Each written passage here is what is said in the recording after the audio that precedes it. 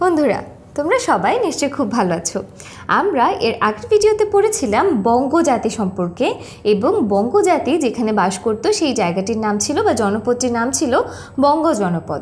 এবং এই বঙ্গ জনপদ সম্পর্কে আমরা জেনেছি যে এটি ছিল প্রাচীন বাংলার খুব শক্তিশালী একটি অঞ্চল।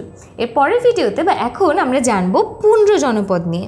পুণ্ড্রও ছিল বাংলার জনপদগুলোর মধ্যে অন্যতম গুরুত্বপূর্ণ একটি জনপদ। এবং এটার বঙ্গ জনপদ ছিল বঙ্গ নামে একটা জাতি বাস করতো এ কারণে পুণ্ড্র ঠিক একই পুণ্ড্র নামে একটা জাতি পুণ্ড্র নামে একটা জাতি এখানে বাস করতো বলেই এর নাম ছিল কি? পুণ্ড্র জনপদ। মানচিত্রে দেখলে এই যে দেখো এই অংশটা, এখানে বাস করতো কারা? এখানে বাস করতো পুণ্ড্র জনপদ। এবং এর যে এলাকাগুলো ছিল সেগুলোর বর্তমানে যেখানে বগুড়া, রাজশাহী, রংপুর বগুড়া, রাজশাহী, রংপুর এবং দিনাজপুর যে অঞ্চলগুলো আছে বর্তমানে, এই অঞ্চলগুলো নিয়েই তখন কিন্তু এই পুণ্ড্র জনপদটা গঠিত হয়েছিল। এবং এই পুণ্ড্রদের যে রাজধানী ছিল, সেটার নাম ছিল কি বলতো?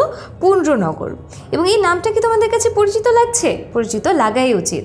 কারণ মহাস্থানগড় হয় এই পুণ্ড্রনগরের পরের নাম। অর্থাৎ এই পুণ্ড্রনগরকেই পলে কি বলা হয়?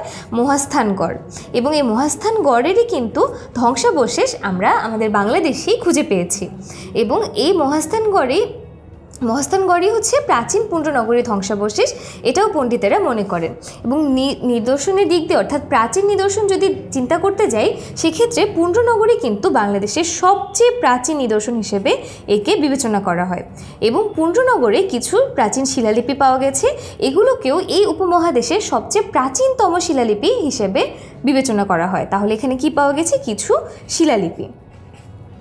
তাহলে বন্ধুরা আমরা কি জানলাম? পুণ্ড্রনগর সম্পর্কে। পুণ্ড্র ছিল প্রাচীন বাংলার একটা অন্যতম জনপদ, যেখানে পুণ্ড্র নামে একটা জাতি বাস করত এবং তারাই এই জনপদটা গড়ে তুলেছিল।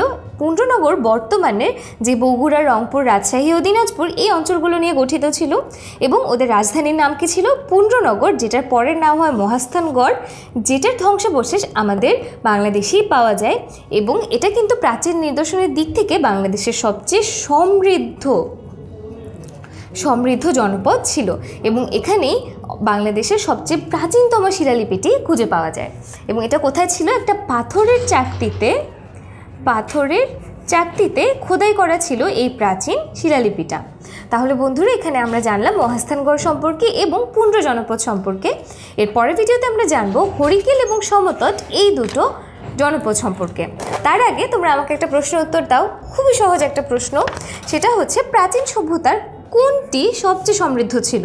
বঙ্গ জনপদ গৌড় জনপদ পুণ্ড্র নাকি হরিকেল? তো আমরা মাত্রই জেনেছি পুণ্ড্র জনপদ সম্পর্কে। তো আমরা জানি পুণ্ড্র জনপদ ছিল প্রাচীন সভ্যতার সবচেয়ে সমৃদ্ধ জনপদ।